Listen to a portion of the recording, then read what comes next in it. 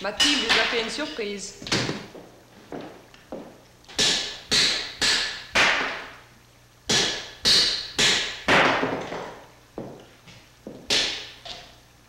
En s'acharnant sur les choses, on peut les détruire. On ne détruit que ceux qui ne résistent pas. Résiste à ta violence et apprends